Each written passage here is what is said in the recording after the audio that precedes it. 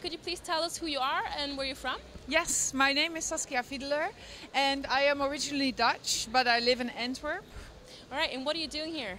I am actually here. I spoke about content strategy just a minute ago. Uh, I did a presentation on that topic because I'm really passionate about it. And what do you work with? I work with my own company. It's called The Duchess, and at the moment I'm a one-person company, but who knows what will come after. so the essence of your presentation, what was that?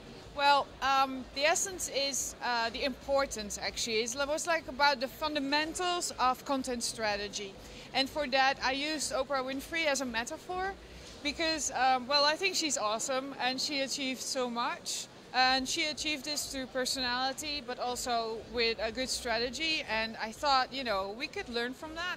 So a lot of things that she does really well, you can also apply apply to your organization's communications and how you create content and how you work with content in general.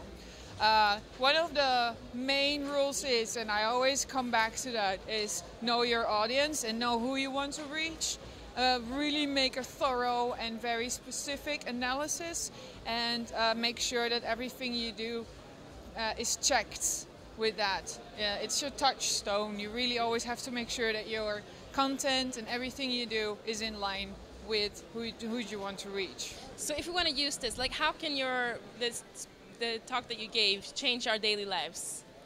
Um, well, uh, organizations and people will just create uh, better content and um, content that make people happy. Happy in a sense of big smiles and joy and ecstasy, but also in like little slight smiles or just internal like um, reassurance. Um, it's making sure that you put the right content in the right place so it's right there where your audience wants it to be and expects it to be and when it makes them happy. Um, and happiness really goes from information, uh, education, but also entertainment, of course. Perfect. And what do you think uh, about conferences like Multimania? What is the worth of this kind of conference? What is the what? The worth. The worth. Yeah. Oh, it's just uh, an awesome conference where um, technology and also uh, things like content and marketing come together. Uh, it's it's very interesting for me as I'm more in the strategy field and more working with.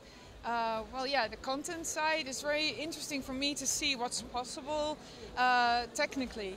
So uh, it's it's a beautiful example of uh, a conference that mixes it all and it has it all, and there's just incredibly interesting speakers here every year, and this year again, like I've already seen some really interesting talks. Perfect. Thank you so much. Thank you.